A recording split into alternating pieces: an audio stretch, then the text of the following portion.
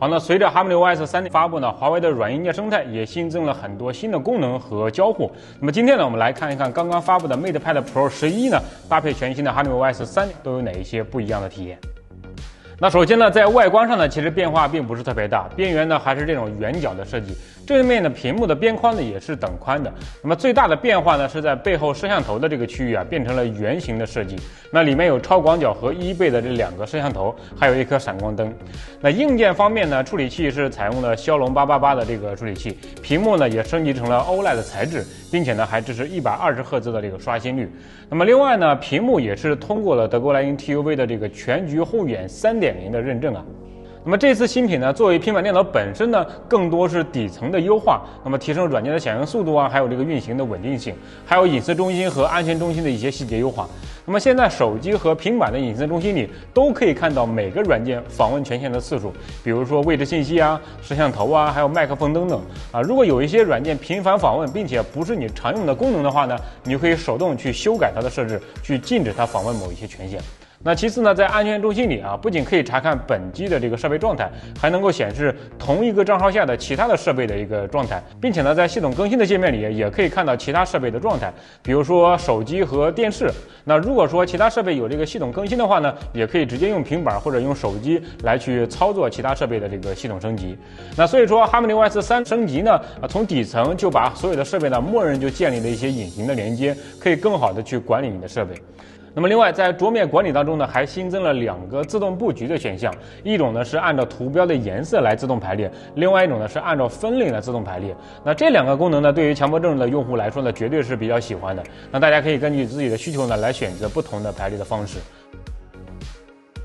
那鸿蒙强大的超级终端这次又带来了不少新的功能。那其中让我觉得最值得分享的是手机网络共享的功能，就是让平板电脑来使用手机的网络功能。那平板电脑和手机建立连接以后呢，在超级终端的界面会有三个模式可以选择，有这个多屏协同，还有摄像头共享，还有这个移动通信能力。你选择移动通信能力的话呢，这个平板就可以用手机来上网了。那这是手动选择的一个方式。其实还有更方便的，在平板电脑的系统的设置当中呢，找到超级终端，然后打开多设备移动通讯共享，然后把附近的设备呢修改为自动连接。这样当手机和平板在附近的时候呢，就会自动连接上去了。而且呢，啊可连。接的范围呢也是很广，只要在两台设备 WiFi 可覆盖的范围内呢，都可以自动的连接。那连接以后，在户外没有网络的情况下呢，就可以直接使用手机的网络来上网了。那如果说在有 WiFi 的情况下，两台设备呢还是可以继续用 WiFi 来上网啊，这个并没有影响。那这个功能其实并不是传统意义上的这个无线热点，而是在系统底层呢把两台设备相互打通了。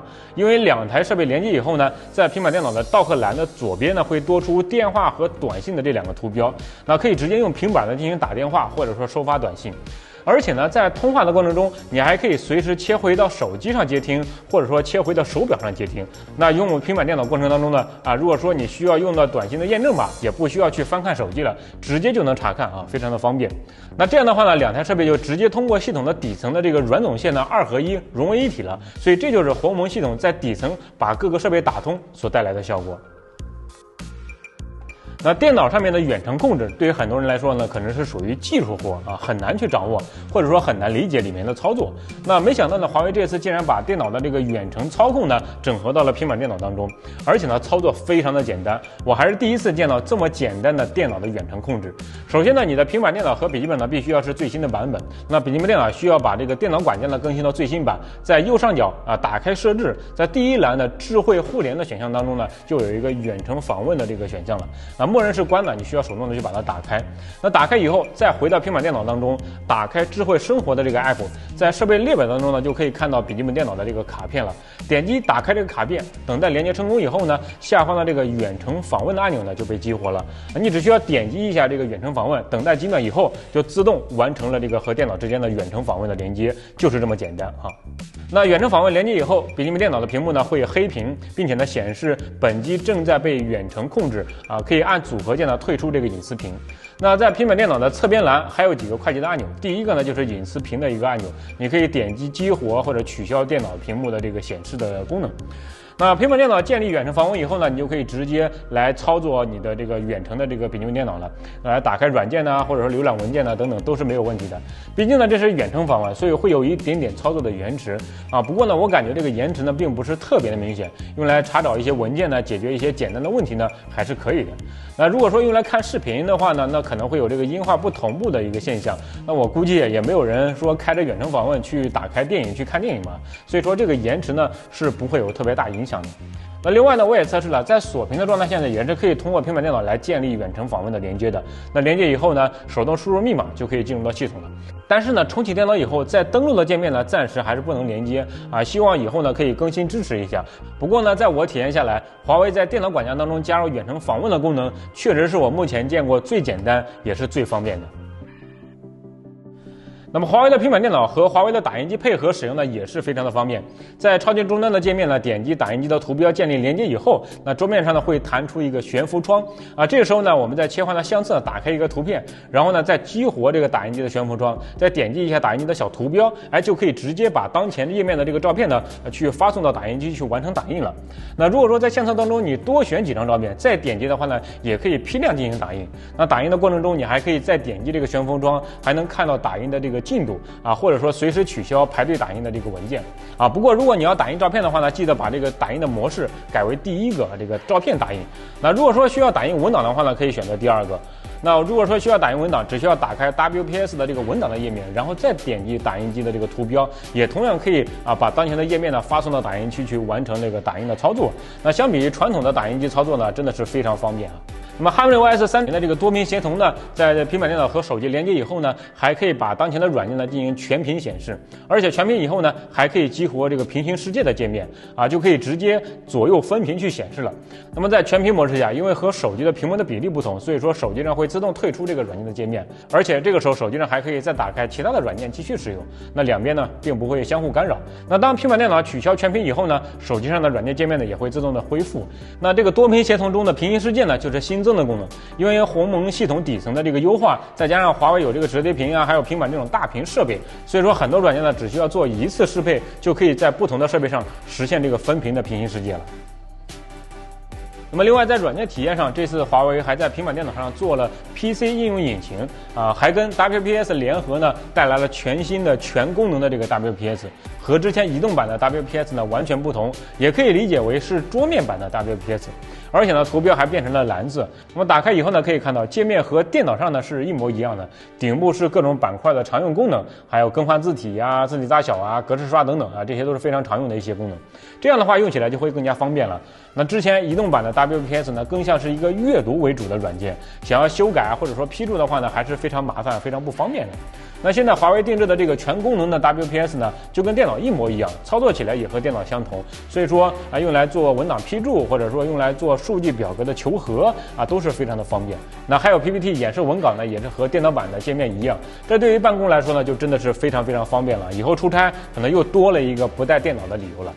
而且呢，如果说你打开了多个文件，还可以在侧边呢打开这个悬浮窗，来快速的切换其他已经打开的文档，并且呢，这个窗口还可以啊层叠摆放啊，切换浏览呢也都是非常方便。那这个模式呢，啊，是利用华为的这个 PC 应用引擎所实现的效果。那应用引擎呢，会在九月份开启公测。那想要体验的话呢，可以在花粉俱乐部申请公测。那正式版呢，会在十月份上线。那目前呢，WPS 只是第一款软件，之后呢，还会有更多桌面级的软件加入啊。那逐渐呢，就会把平板电脑上用着不方便的一些软件呢，更新成大家熟悉的这个 PC 的版本。那对于出差办公来说呢，真的是会更加的方便。以后出差可能真的只带一个平板就可以了。那么这台 MatePad Pro 十一呢，在硬件上还有一个升级，就是华为 Sound 的音质。那平板电脑配备了有六个扬声器，并且是啊高低分频的一个设计啊。官方的说法呢是最高的响度可以达到八十 dB。那我试听下来呢，感觉确实还是挺不错的。那所以说在看电影的时候，这个立体感和声音的效果呢也很不错。那在这么薄的体积当中，能有这样的声音效果呢，确实还是挺不容易的。那随着 MatePad Pro 一起发布的，还有一款新的这个分体式磁吸键盘，那采用这个墨蓝的配色，和新款的这个笔记本电脑的配色呢很相似，搭配使用呢也是挺好看的。那这一套磁吸键盘呢，有三种使用的形态。第一种呢是常见的这个笔记本电脑的一个形态，第二种呢则是分离的一个形态。背板和键盘呢也是通过磁吸连接的。那分离以后啊，背板还可以通过磁吸呢啊固定在平板电脑背后啊，可以快速的把它变成手持的一个使用的模式，或者说通过这个底部的这个展开支架呢，把它放在桌面上看视频啊，也是非常的方便的。那第三种形态呢是键盘分离模式，因为这个键盘和平板之间呢是蓝牙连接的，所以说分离以后呢也是可以以使用的。那平板电脑用背板的支架放在远处，键盘呢可以放在前面，这样的话呢啊打字也会更方便。或者说把键盘放到腿上呢，这样打字也没有什么影响。那不过可惜呢就是键盘没有触控板，如果说有触控板的话呢，那操作起来会更方便一些。那但是如果说你有需要的话呢，也可以连接一个蓝牙鼠标来配合使用。所以说这个分体式的磁吸键盘呢，还确实挺有创意的。那另外，这套分体式的磁吸键盘还配有一个手写笔的收纳盒，也是可以用磁吸的方式呢固定在这个背面。那镂空的区域呢，刚好可以对应这个背板上面的这个 logo 部分啊，加上磁力呢也比较大，所以说来回插拔这个手写笔的时候也不会那么容易掉下来。好，那么这一次对于平板电脑的体验呢，更多是聚焦在 HarmonyOS 三系统级的功能。那作为平板电脑本身单独使用的时候呢，也有很多细致的优化，包括这个手写笔的体验呢也有提升。那所以总体来说，这次平板更新不仅有常规的硬件升级，比如骁龙八八八的处理器，还有 OLED 材质的屏幕，以及一百二十赫兹的刷新率。那么在软件体验以及鸿蒙生态中的这个功能的更新会更多一些。那大家如果说想要了解更多 HarmonyOS 三的这个新功能，可以关注后续的这个体验视频。如果说想要体验新，新款的平板电脑也可以在华为的线下店呢亲自上手去试玩一下。好，那我是小新，我们下个视频再见，拜拜。